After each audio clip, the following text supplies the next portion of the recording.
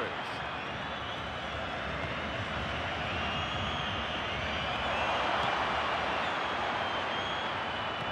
And it's presented to the player by the opposition. Cafe. Left blows for the free kick.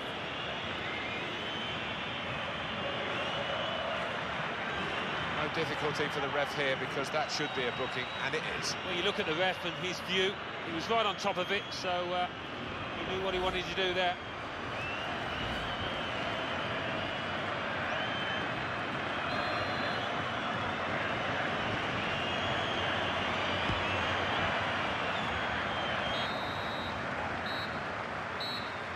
Final whistle.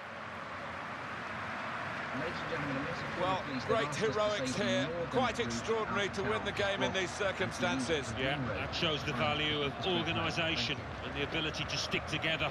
They did that, and they saw it through.